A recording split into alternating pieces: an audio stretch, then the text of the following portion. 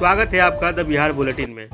बिहार की मशहूर लोक गायिका नेहा सिंह राठौर की तबीयत आज अचानक से खराब हो गई है। इस बाबत नेहा सिंह राठौर अपने फेसबुक पेज पर आकर इस बात की जानकारी दी है। उन्होंने कहा है कि आज मेरी तबीयत ठीक नहीं है, पल्स रेट और ऑक्सीजन कम ज़्यादा हो रहा है। आरटीपीसीआर और एचआरसीटी के लिए मैं हॉस्पिटल जा रही हूँ। आगे स्वास्थ्य जैसा भी होगा, मैं सूचित करूँगी। नमस्कार दोस्तों, मैं नेहा सिंह राठौर और आज थोड़ा स्वास्थ्य सही नहीं लग रहा था।